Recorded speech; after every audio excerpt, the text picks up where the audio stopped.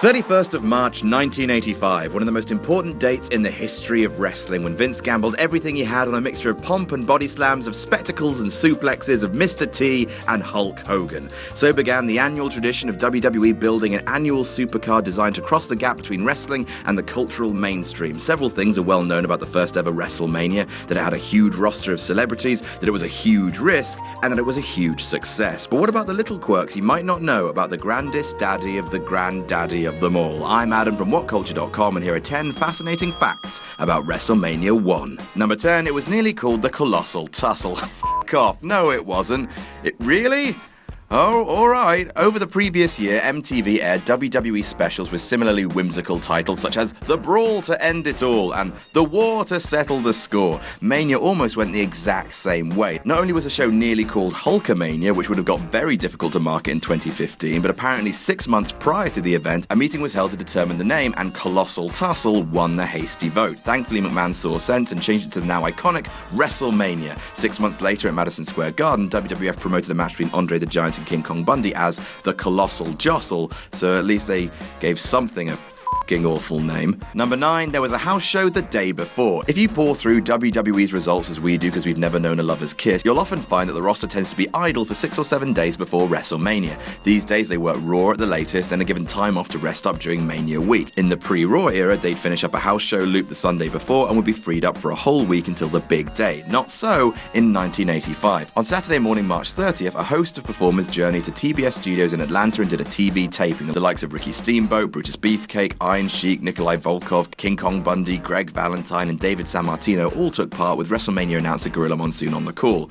Working weekends, McMahon, you son of a bitch. Number 8, Hogan and T hosted SNL hours before. And speaking of workload, a lesser known fact about WrestleMania 1 is that it took place at 1pm in the afternoon, New York time. As such, the call time for WrestleMania must have been exceptionally early, as McMahon would have wanted to ensure that everything went smoothly in that adorably insane way that he does. As part of the media blitz for the event, Hogan and Mr. T hosted the institutional Saturday Night Live at 11:30 p.m. the previous night and were there for the curtain call at 1 a.m. Not only that, but traditionally the SNL host or hosts and the guests and the cast and the crew all go out and party at some New York night spot until the wee hours. Even if Hogan and Mr. T ditched that and were in bed with the lights out no later than 2 a.m., they must have been knackered rolling into the garden the next day. Number 7, Jesse Ventura was a bundle of nerves. By January 1985, the body had already transitioned from wrestler to color commentator, replacing retired bruiser Angelo Mosca on broadcasts of All Star Wrestling. Nonetheless, the pressure of beaming out to a closed circuit audience across America, where any of his flaws would be seen without the benefit of editing, apparently weighed heavy on Ventura's shoulders. It weighs heavy on mine, after all, without editors, I'm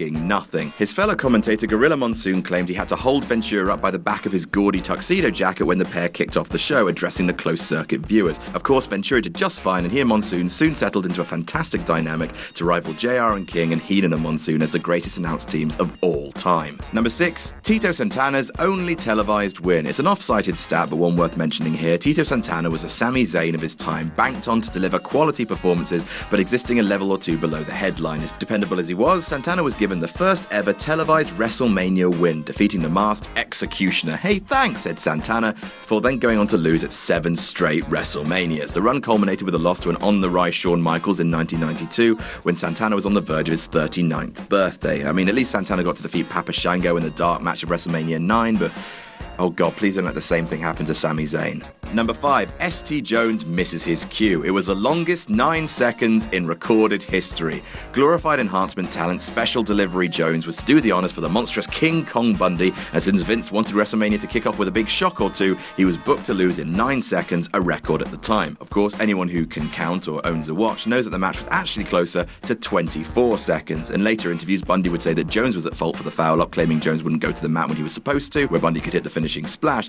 and Bundy also added that Jones didn't like the idea of losing in a quickie, hinting that the botch was an intentional f you. Number 4, Ricky Steamboat debuted less than a month before. In early 1985, Ricky Steamboat parted ways with his longtime home territory of Jim Crockett Promotions, reportedly after differences with creative head Dusty Rhodes. The Dragon would quickly resurface in New York, the sort of earnest and lovable babyface that was crucial to helping Vince carve out his McManifest destiny. That is an excellent pun yourselves. Now, it's not too common for wrestlers to make it to the WrestleMania main show without a firmly rooted presence in the company, but Steamboat was certainly an exception. For his WWE debut, he took part in a set of Atlanta tapings dated March 2nd, 1985, and then it was straight over to Mania, where he was given a quick win over Matt Borne, who would later go on to become Doink the Clown. How about that? How about that little fact? Number three, Don Muraco was kept off the show. Numerous recognizable performers were omitted from the WrestleMania card for one reason or another, and perhaps none was more conspicuous than magnificent Don Muraco. The dry witted powerhouse and two time former Intercontinental Champion had returned from a hiatus of several months in early 1985, now managed by Mr. Fuji. He took up a full schedule again, so his absence from the maiden WrestleMania feels a little bit odd. Muraco would later claim in a shoot interview that he was being saved to work a series of WWF Championship bouts with Hulk Hogan post Mania, which in fairness he did, but it's still a bizarre reason to keep him off the show, where a dominant victory could have made him even more of a draw. Number two, Mr. T nearly walked out on the day. The problems between Mr. T and Rowdy Roddy Piper are common knowledge. Piper wasn't the only wrestler that resented having to work with an outsider, one that hadn't put in the miles that he had. Paul Orndorff has also stated his dislike of the TV star, and Brutus Beefcake would note in a 2015 interview that Hogan had to essentially babysit a mentally frazzled Mr. T, because on the day of the show, fearing that Piper and Orndorff would shoot on him, T reportedly wanted to cheese it. I really, really hope that Hogan had to drug Mr. T's milk in order to keep him around, and if you don't get that reference, you're an absolute piece of shit. Fortunately, the main event went smoothly with Piper and Mr. T cooperating on a number of entertaining spots. And number one, McMahon openly told his wrestlers it was make or break. Indeed, WrestleMania was a life and death proposition, a high consequence gamble on the part of Mr. McMahon. He'd personally invested so much in the closed circuit venture and the bold move to take a wrestling territory national that if the show had failed, so too would the World Wrestling Federation. Tito Santana claimed that McMahon openly admitted as much to the locker room, saying in a 2015 interview that Vince told his staff, We're either going to make it or we're going to go broke. But with 19,000 strong in the garden and more than 400,000 fans across the country that bought into the closed circuit airings, WrestleMania was a huge success, and WWE would live to put on at least 32 more. Monday, March 6th, live from Newcastle and free on YouTube. Drew Galloway will defend his WCPW championship against the aerial assassin, Will Ospreay. The American Nightmare, Cody Rhodes, will defend his WCPW Internet Championship. WCPW proudly presents Exit Wounds. Monday, March 6th, 7.30, 2.30 Eastern. Tickets still available at WC.PW.